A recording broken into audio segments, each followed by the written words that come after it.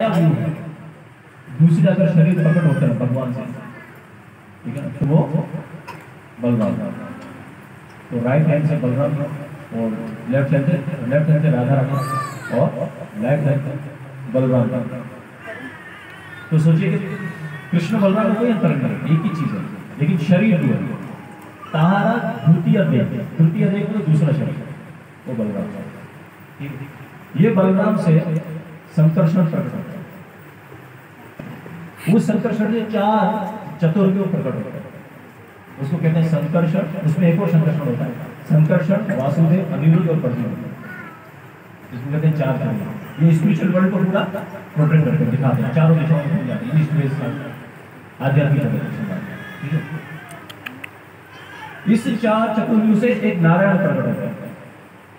ठीक है? नारायण भगवान सब लोग बोलते हैं, नारायण भगवान।